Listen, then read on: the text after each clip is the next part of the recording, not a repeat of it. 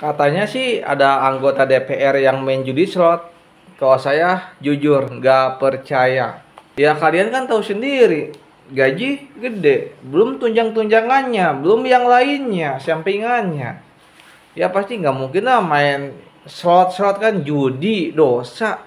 Nggak percaya saya mah. Kalau temen saya ya percaya.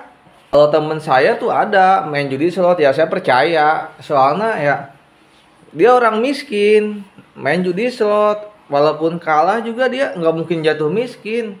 Soalnya posisi dia udah miskin. Ibu ini yang anggota DPR saya nggak percaya. Buat apa dia main judi slot?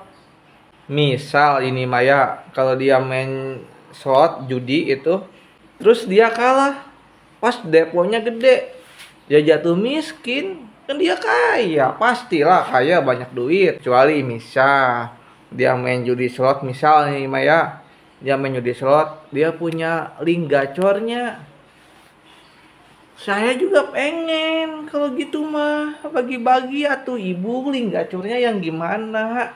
Saya juga pengen depo jebret menang. Udah deh blokir tutup. Tapi ini kan cuman misal ini kan cuman misal.